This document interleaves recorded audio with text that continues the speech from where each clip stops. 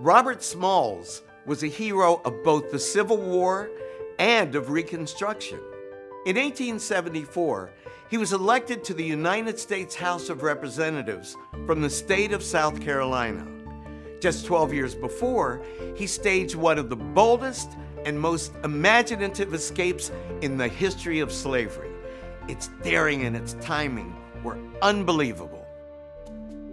Robert Smalls was a 23 year old slave pressed into service for the Confederacy aboard a ship called the Planter.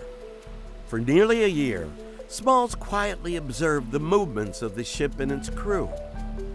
Just before dawn, on May 13, 1862, Smalls took his chance. While the ship's officers slept ashore, Smalls and his fellow enslaved crew members pulled up anchor and eased the planter into Charleston Harbor. The plan was that he and the other enslaved members would meet their family members and take off and sail to Union territory. He knew that there would be danger ahead because he had to pass through four Confederate checkpoints. He dressed up like the captain, he even walked like the captain so that it looked like nothing was wrong. Smalls slipped past the first three checkpoints undetected. The most dangerous checkpoint remained Fort Sumter. As dawn broke, the crew urged Smalls to take a wide berth, but Smalls knew that changing course could arouse suspicion.